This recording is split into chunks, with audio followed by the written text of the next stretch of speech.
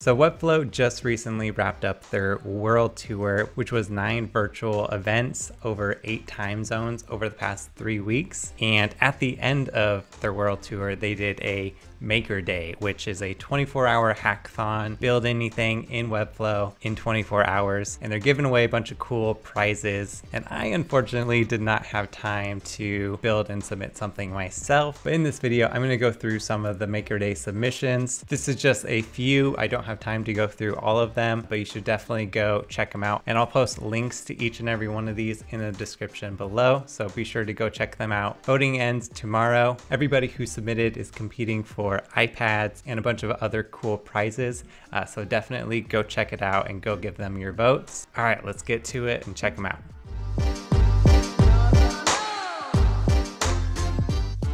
Finsweet created this really cool prototype for this backend private API for the Webflow Global Maker Day. And the concept is super cool. This is what they mocked up. So uh, the idea is you'd be able to add an integration so for example, Airtable, you could add that integration into Airtable inside of the designer itself, which is super cool. And then it would work something like this. So if we preview it, you could then, hello everyone at example.com. So this is a Webflow form and you click submit and this is their Airtable and you can click refresh and you can see it automatically populates that form submission. This is super, super cool because it basically eliminates the need for Zapier, at least in this regard. I use Zapier quite a lot to tie a Webflow form to like ConvertKit or to Airtable or to other things. And this would basically remove the need to have Airtable do that. So I believe Webflow is making something similar with their logic flows. I think that's the, the idea behind logic flows is something like this. But this private API key thing that Finsweet built is actually really cool. You could potentially integrate MemberStack and Airtable and basically any third-party tool that you want directly into Webflow and then have them speak directly to each other without needing Zapier or some middleman in between them which is awesome. So Finsweet, really nice work on this. Super cool idea. I dig it. If you guys want to vote for it, check a link below.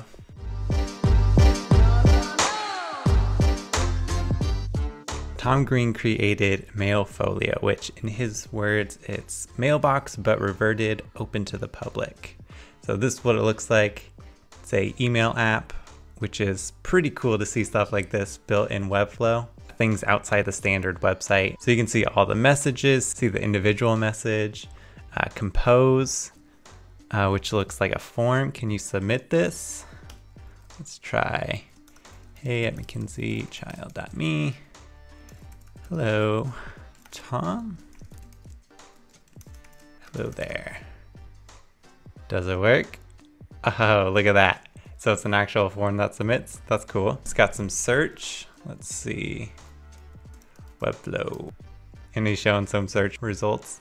So Tom said he built this in five hours, which I think is very impressive. So nice work, Tom. I'll add a link if you want to check it out and vote for it.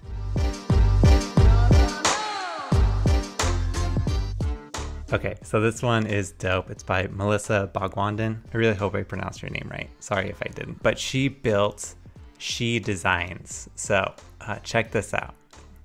As you scroll, this like Lottie animation plays and it writes out because she knows she can.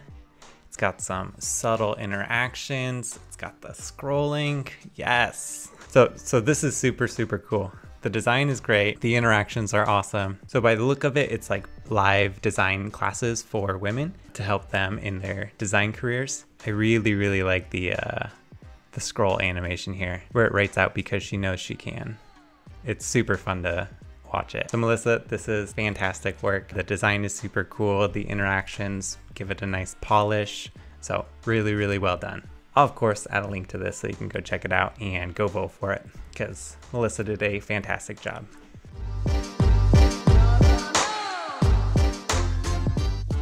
Okay, so Joshua Fry built this really fun Sia Sia Bowie Bowie Giraffe Giraffe memory matching game. So it's a memory pair game. You just gotta like flip them over and try to get the correct ones. Yes. In the time limit. Success. So Josh, super cool that you were able to build this in Webflow. Go watch his video on his voting page. He has a video where he explains a little bit of how it's set up and how he went about building this, if you're curious about how he did it. So he said he built this natively in Webflow minus a little bit of custom code for, for the randomization of the cards. So really nice work, Joshua. I dig it, it's super fun. You can go to matchpairs.webflow.io to check this out, and I'll add a link to go vote for this if you like it.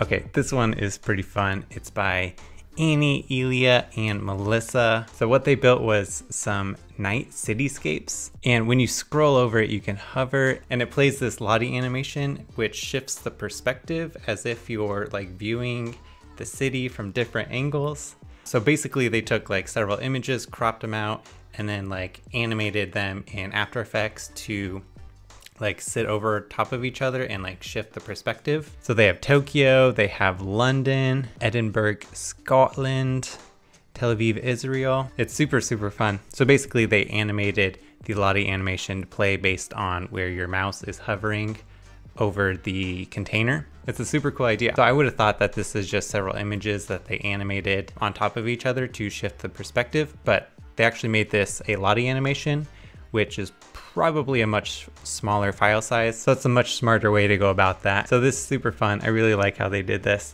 Uh, you can go to nightcityscapes.webflow.io to check it out. And if you like it, be sure to give it a vote.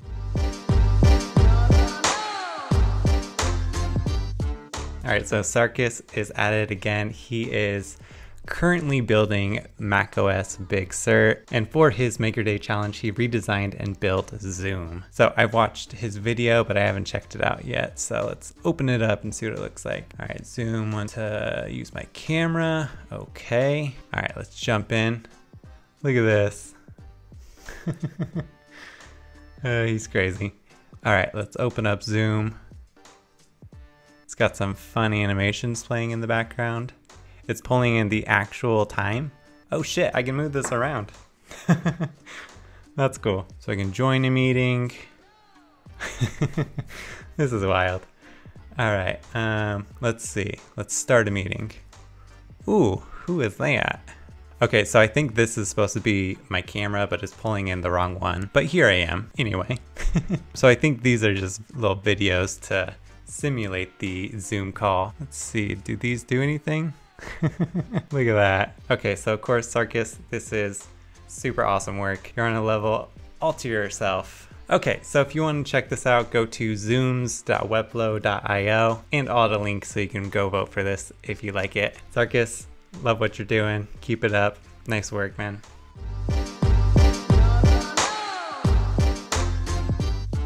All right, this submission is by Colleen Brady. So you can't really see what's going on on her actual demo site, but most of it is happening in the background. So she built something really cool. So basically what she built was a automated social media image workflow. So basically the data is being stored in Airtable. Placid app creates the images. Then Integromat checks if Webflow has images. If not, it basically takes it from Airtable and sends it over to Webflow and adds it there. So this is really cool automation. Very nice work, Colleen. At some point, I'm gonna do something similar to this on Flamingo, but if you're constantly creating new social media images for blog posts or whatever, it's really cool to know that you can basically automate the entire process so you don't have to do it manually. She has a little video walking through how it's all set up if you wanna check that out. So I'll post a link so you can go check out that video and vote for her project if you like it.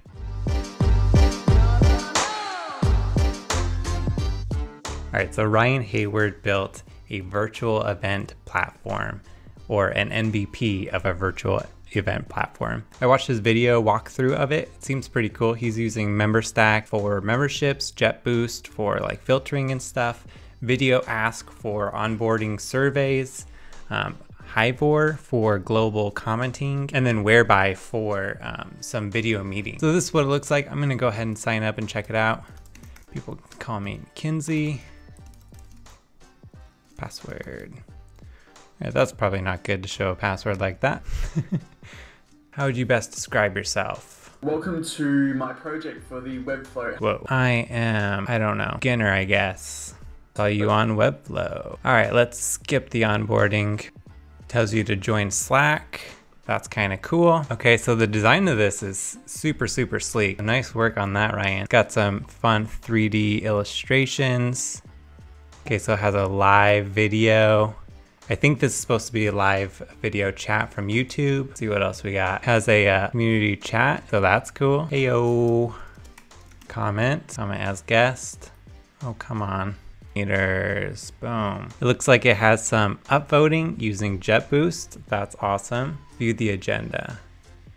So you can add the agenda items to your schedule. So yeah, I really, really dig this. The design is awesome. There's a few things not working, but this is just an MVP and a prototype and a really good one at that. So very nice work, Ryan. It's crazy that you put this together in less than 24 hours. If you want to check it out, go to webflow-hackathon.webflow.io and I'll of course post a link to the voting page if you want to give him an upvote.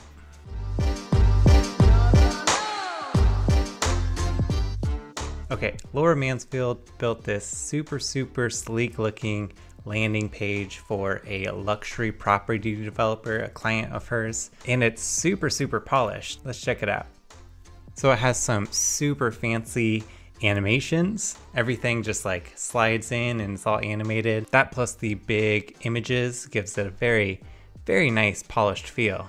You scroll down, it just has a couple sections, call out sections, and then a make your appointment. She said this was her first Webflow project. I am very, very impressed. This is super, super well done. So very nice work, Laura. So normally I don't really like over the top animations like this, but I feel like this, but I feel like she's done it in a very subtle way. So it's not too much. It just feels very clean, very polished. So 10 out of 10 would recommend. This is great. Very, very nice work. You can go to theoval.webflow.io to check it out for yourself. And of course, I'll post a link so you can go vote for it if you like it.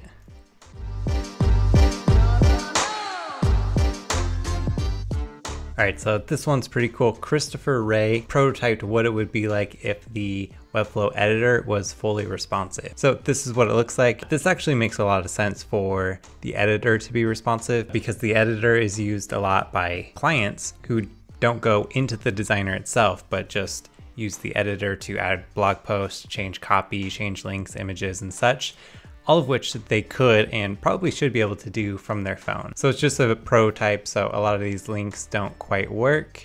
Uh, but if we scale it down, it is fully responsive. So that's pretty cool. So yeah, I really like the idea of this being responsive. So nice work mocking this up, Christopher. If you want to check this out, go to responsive-webflow-editor.webflow.io and you can play around with it yourself. And of course, I'll add a link to go vote for this if you like All it. right, so that was just a few of them. Uh, there's quite a bit more in the project gallery. So go to webflowmakerday.devpost.com and you can find all the projects that were submitted for this Maker Day challenge. I just want to say congrats to everybody who participated in this. You've done crazy awesome work. Seeing everything that has been built in less than 24 hours is super, super cool. Just shows you how powerful Webflow is and how fast you're able to move in it. So yeah, that's all for this video. I'll see you in the next one. Peace.